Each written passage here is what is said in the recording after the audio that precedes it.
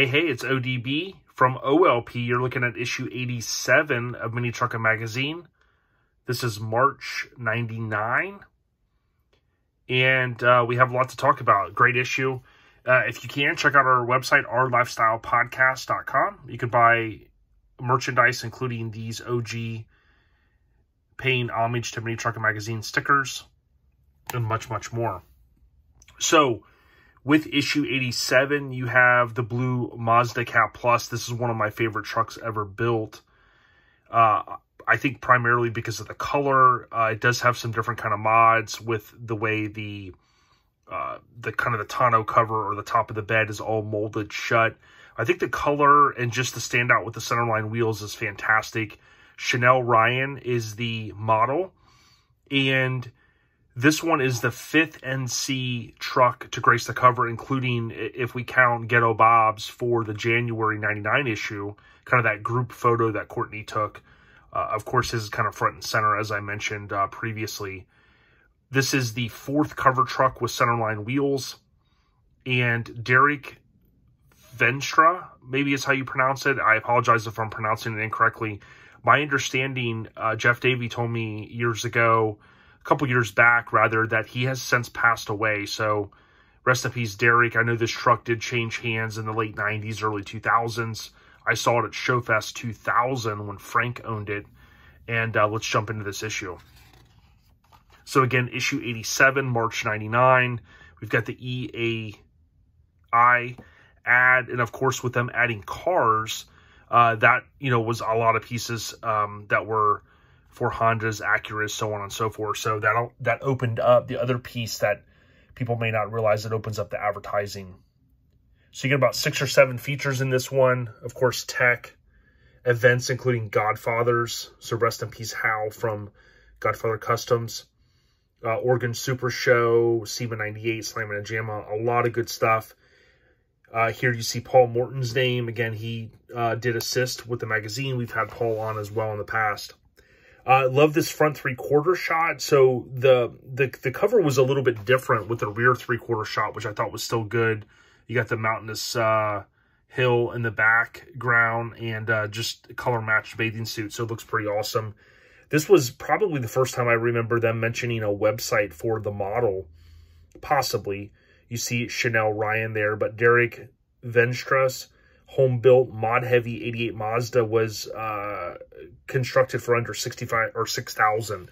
And that was something that was very unique, and I'm sure a lot of us young mini truckers were, um, our interest was peaked because $6,500 cover truck, I mean, that to me, like, blew my mind. I'm thinking to myself, wow, how, you know?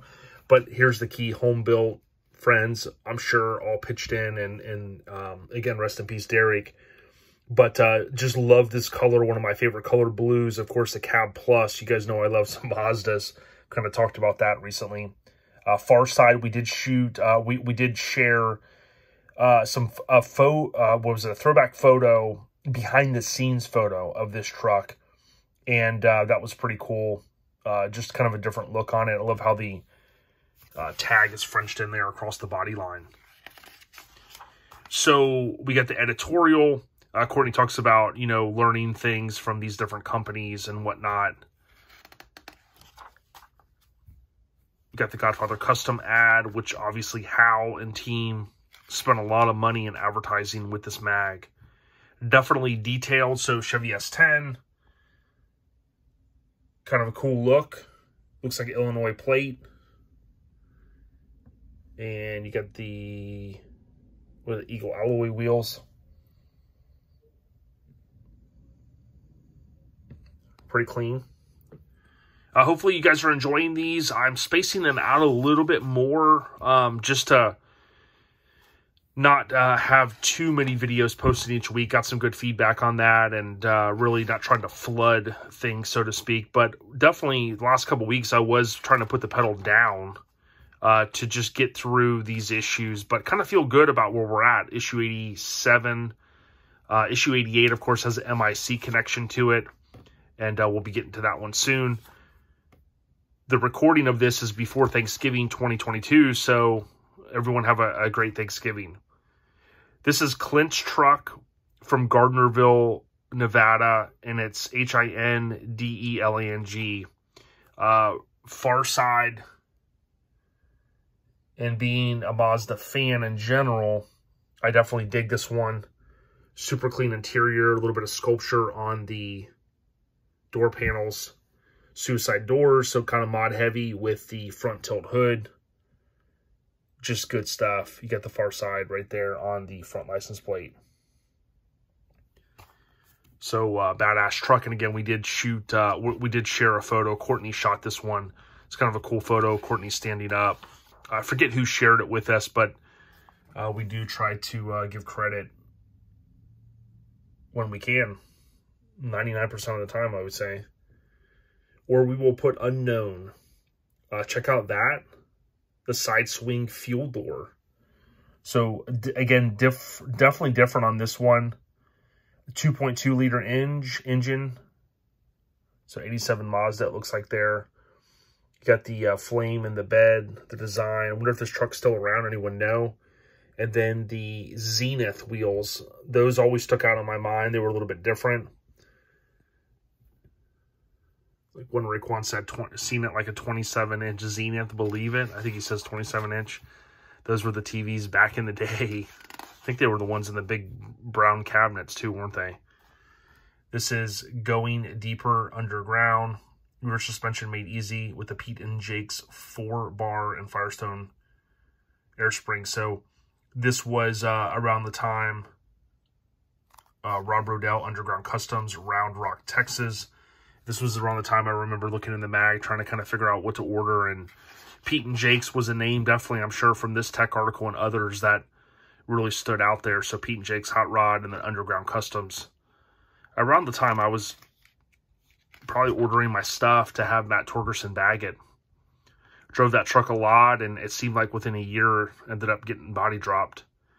Battle of the Imports. So we've seen some coverage from there. Kind of a rare appearance of a Tundra. T100, rather. Uh, there's the Bikini Calendars no mini trucking, but Mustang, trucking, street rodder, and bike, of course. Sure, that was a de decent stream of revenue, uh, you know, even at $7 a piece, you know, depending on people looking for uh, holiday, Christmas gifts and whatnot. Back in the day, I wonder how much revenue that brought in. Uh, here's Godfather Custom. So Mike Slade does this. And uh, I never got a chance to go to the show. If you did, chime in. If you know anybody that went. I always love these uh, high up photos. Now, of course, there's drones. It's a different game, but uh, you see the shop there. I think that was uh, Duck and those guys. Possibly just Duck. Um, but uh, see some of the trucks. This thing was always super clean. And you got the Nissan hardbody here with the Topper Gang Next Level clean Mazda, a little bit different grill on it. Static drop, super clean. And then you got Duck here, Carey, with uh, his famous truck we talked about when he was on the podcast. Always loved this thing. All the tweed on the dash. Kind of pretty badass. So pretty cool here to see some of these trucks that we're kind of seeing over and over from a show coverage standpoint, including this guy here, the custom shop Geo Metro. This thing was clean. I shared a photo of that not too long ago. I think Kirk uh, had a photo that I scanned. Shout out to Kirk from No Regrets, Florida. Here's Ryan Cochran's truck on those, what, Enkeis. And uh, always love this truck too. Pretty cool. Thought it looked good. A lot of badass trucks, man. A lot of badass trucks, a badass era. So again, uh, if you can, leave a comment, thumbs up, definitely, if nothing else, and uh, subscribe if you haven't already. Caribbean Cruiser. This thing, you look at the interior and just say, dude, super clean. always loved when these sill plates were done also in tweed. You had the dual paddle gauge deal, or the uh, the dual needle gauge and the, the two paddles kind of facing the driver a little bit all the uh, tweed done on the dash, of course, also on the steering wheel. Got a little bit of uh, pods there on the door. Looks clean. CD changer. Sunroof. Lot going on for a standard cab truck, man. Really nice. Super clean. Lance Martz shot this one. And then boom, cause I can. I always thought it was awesome, man. You flipped right to it and then boom. Um, what stood out to me is the blue paint. And again, I love this, um, the color, kind of that, that pinkish color uh, as the background. I think it just really pops. And when you see this rear three quarter of this truck, I mean, it just doesn't get much badass than that. I mean, all shaved up. The, uh, you know, the, the bright work here, of course, on the Mazda. But uh, definitely, hands down, one of, you know, my favorite, if not favorite Mazda ever built. Uh, always love this shot too, so you can see the rag top open there a little bit. And then there's uh, Derek's name, Low Buck Mazda.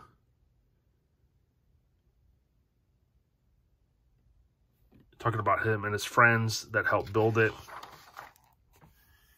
And uh, on top of that, you know, the whole engine bay being painted, the brake booster, the timing cover, and then with the chrome accents, it really just didn't need much more than that. I mean, to me, that's that was it. Then he looked at the interior and it was like, boom, okay, so you have the sculpture on the door panels.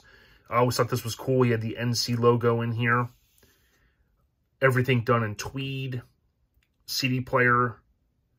Just nicely done. I mean, I'd love to do my Mazda like this one day. At some point may not even be tweed. It may just be something that looks like, you know, a nice material.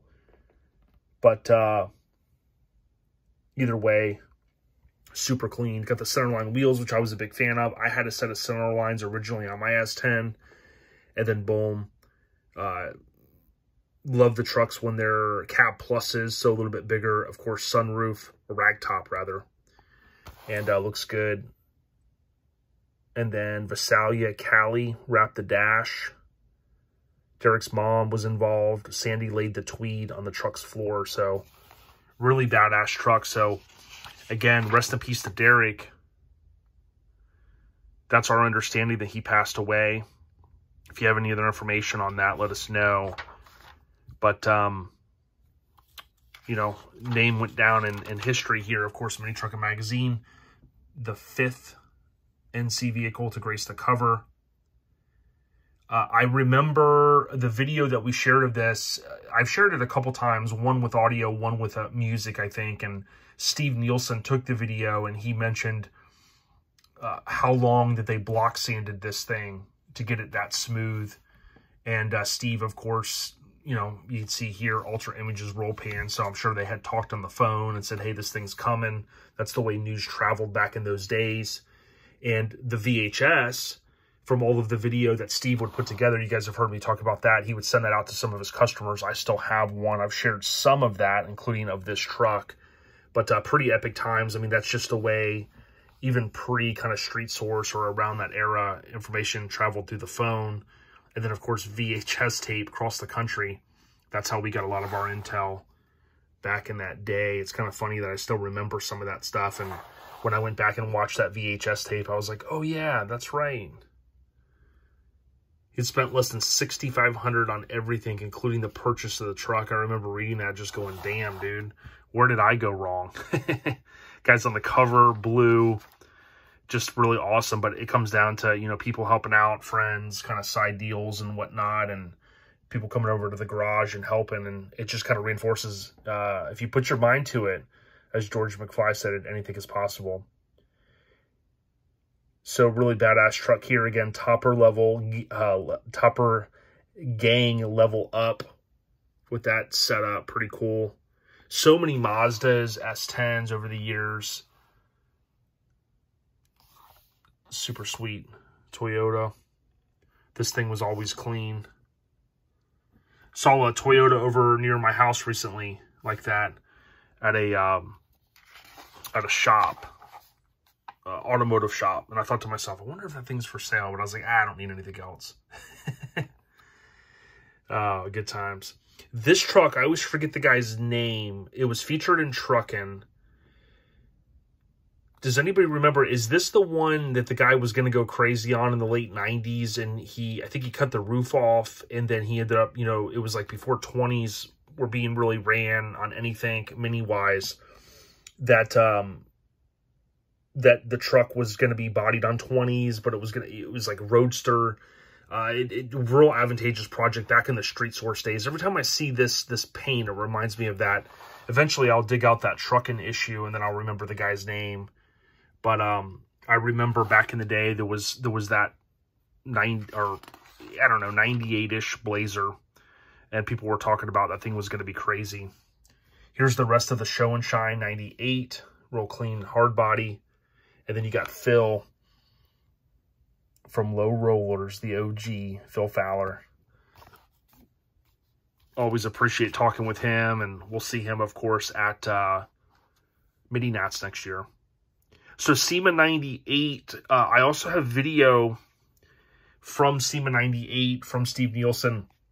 This was one of the baddest Rangers, maybe the baddest Ranger ever built. It doesn't get talked about enough. It was on the cover of Sport Truck. It was also on the cover of another kind of rare, obscure magazine.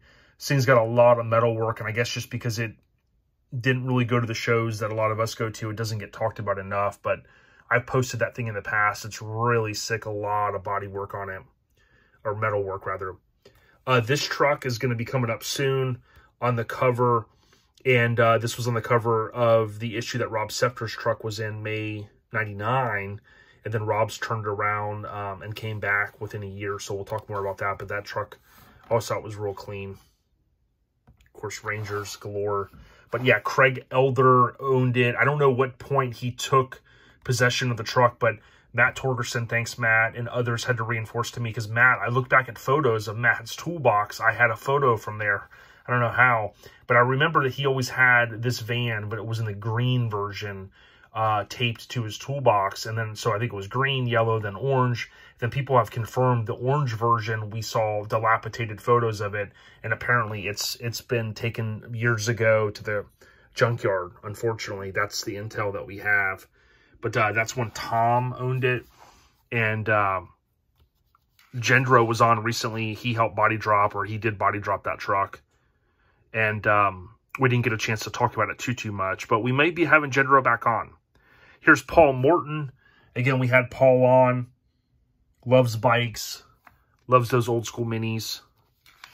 He was uh, doing a lot of work at AutoSign and Security at that time. It's crazy to think how many people we have had on Here's a Pioneer deck install in the zone. Endless Pleasures. Clean Toyota. Super clean. Super duper fly. Again, uh, if you guys are liking this, leave a comment, leave a thumbs up. Really helps out the channel. Slamming and Jamming. This is another one that I never made it to. Uh, we we have a guest from the drop shop coming up. And if I remember correctly, this is the truck that we briefly talk about, the four-door Blazer. Think about Jody Hall and how many trucks he body dropped, and then our friend Matt Torgerson, even on the East Coast. Uh, hopefully, you know, I did exchange some comments back with Matt, and we'll get him on here uh, soon and talk trucks. I mean, he, our friend Matt Torgerson, body dropped a lot of stuff over the years got up to the 20s, probably even into the 30s in, in, terms of trucks he channeled and bodied. But um, that that one reminded me of our upcoming guest here on OLP, which again, he worked at the drop shop. So we've had the drop shop soon. We had the chop shop recently. And then Matt was the shop. And that was, uh, of course, in Longwood area, Florida. Here you got Crazy Customs. So that ad. You have Alter Images. All the different stuff he sold. Steve Nielsen's still out there doing his own thing. Doing the damn thing, rather. Uh, here you have Zito. I think this was, his, yeah, it was his uh, hard body on those wheels that were so famous then kind of sought after. The uh, 90 Dodge D50, so Roger Hall's this Aaron Carlin. I believe this is the one that ended up in Severed. I don't know if he was in Severed at the time, but it ends up on the cover. I believe that's the Pro Street truck. Actually, pretty certain looking at all the work on it. And then Troy Kelly's Yoda. Uh, this is a good construction zone, though, layout. You know, four trucks, boom. Never say die, so this is no sympathy. Uh, I think there's no sympathy Japan. I think we recently exchanged some comments and posted some of their stuff back and forth um, for another truck that we recently posted on social media. Speaking of that, if you haven't, follow us on Facebook and Instagram. Much appreciated. Here's Ghetto Bob. He makes another appearance in the magazine. Think he's in one of the first street trucks as well. I think I may have went over that issue. I can't believe. I can't remember if it's the first one or not. Still got some Wu-Tang, Wu World in there. Some of the merch, 15 bucks back in the day. McMullen Argus. And then Traders. We talked about that truck not too, too long ago. Look at these wheels, man. These things are tough to come by these days, those dually wheels. So there you have it. Bright Ideas again with low glow this is issue 87. Again, rest in peace, Derek. NC, really badass truck. What did I miss? Anything? Um, if so, please chime in the comments. We really appreciate it. We'll hit you guys with April 99 soon, which is the MIC Blazer with the checkerboards that Doug Starbuck painted. For now, everyone stay on the rise, and uh, we'll talk to you soon. We chia. Peace.